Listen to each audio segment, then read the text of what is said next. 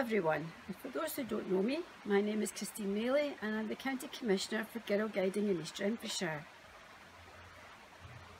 Welcome to our county camp, Hemel It's lovely to know that lots of you are joining in with our virtual camp, especially the Rainbows and the Brownies who are camping with the guides, rangers and leaders probably for the first time.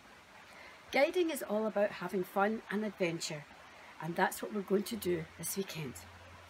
Whether you're building a den under the table or making a camp gadget out of pencils or putting up a tent in the garden, it's all about having fun.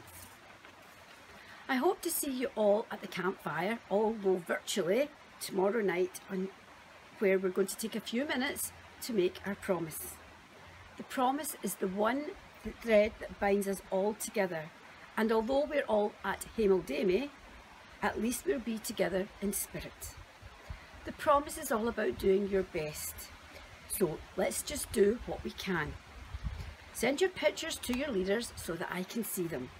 But most importantly, have lots of fun.